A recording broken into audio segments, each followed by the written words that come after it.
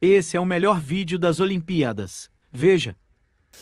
Tem que valorizar muito essa menina aqui. Tem que dar muita moral para Raíssa Leal.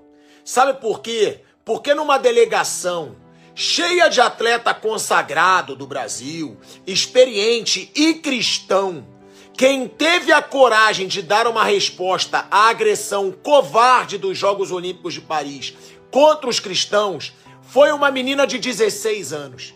A Raíssa Leal foi a única que teve peito para mostrar para o mundo, por meio de símbolos, por meio de gestos, que Jesus é o caminho, Jesus é a verdade, Jesus é a vida. Foi esse o recado que ela deixou para o mundo inteiro, depois da covardia que a França esse sistema imundo fez contra os cristãos. Então, parabéns, Raíssa, por você com 16 anos ter a coragem que muito atleta consagrado não teve para defender nossa religião. Tira o chapéu para essa menina.